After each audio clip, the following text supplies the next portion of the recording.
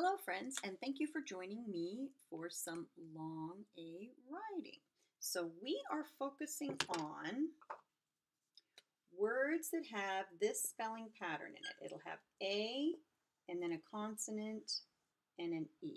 And it can also have a letter before it. So, you'll see what I mean as we go through it. It can be like this, or it can be consonant and then the A, consonant, and E. So that E tells the A to say its name. And that's our silent E, our silent friend at the end, who doesn't say anything, but he helps out the vowels in the middle to say their names. All right, so we are focusing on that long A sound, which basically just means that A is saying its name. Okay, so we're going to make some words here. It says write the missing letter for each word and then write the word underneath it. So it gives us a picture clue. So we have a picture here. This says G If we put the A in here and our silent E friend, we know that that's going to jump over here and say, come on, A, it's time for you to say your name. Say your name, A.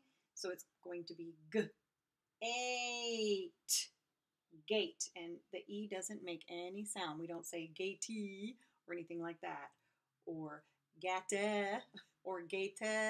Okay, gate. All right, so we're going to write it ourselves underneath it. G A T E gate. And I'm sure I don't need to remind you, but you're going to do your nicest writing always when we write together. Okay, next one. Ooh, this is my kind of word. This is a picture of a cake. So this already has the A and the E in here, but we need to write what we think makes the sound. And it's a cool word because it's going to use both letters that make the K sound. So think about it a minute. What are two letters in the alphabet that both make the sound K? Okay, so one of them is C. A, and then the other one is K. K, cake. And our E doesn't say anything. So we're going to write it down here. C A K E spells cake. Yummy. All right, next one, little guy, and he's going like this. Okay, so we have the W and the V. So we're missing the A sound in there. So we're going to write our A and our E, and now it becomes W, ave, wave. And I'll write that underneath here. Wave. All right, doing a good job. We got gate, cake, wave. All right, if we go down here, and this is something that probably not many too, not too many people play these days, but I used to play them when I was a little girl and that is a game with dice and cards and little uh, things that you move around, little placeholders that you move around the game. Okay, so it is a game. Okay, so g g. We have our G at the beginning, g, aim. Our M is missing, and then our silent E at the end, and we write it right underneath. G, aim game. Okay. This is something that uh, if you were hurt, your leg was hurt, or maybe you were an older person, that you would use to help you walk. And it is called a cane. And if you look at it, it's the shape of a candy cane. If it were red and white striped, it would be candy cane. So we have to write cane. We have the k and the n. We need the a in the middle. So we know it's going to be that A-E spelling pattern ain, cane, C A N E, cane.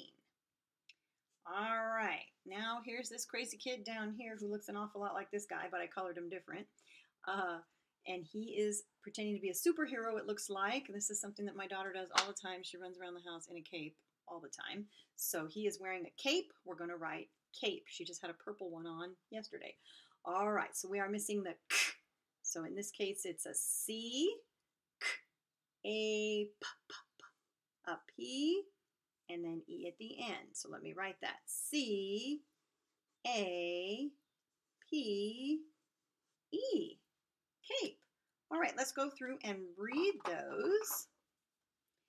Gate, cake, wave, game, cane, cape. And I encourage you to do that. Once you're finished, go back through and see if you can read the words yourselves. And the pictures are great clues, but try to cover up the pictures sometimes. Have your mom or dad fold your paper for you, maybe, and then you try to sound it out. Okay, that's how we get to be good readers by practicing. So if you look at these, uh, they follow that pattern. They have a consonant here and a consonant here, and then the two vowels here. And then if it were just a short one without something in the beginning, vowel, vowel, consonant in the middle. So this would be like if we had eight, eight, but not like the number eight. It's going to be like you ate a piece of delicious cake yesterday, okay? Or I already ate lunch, okay?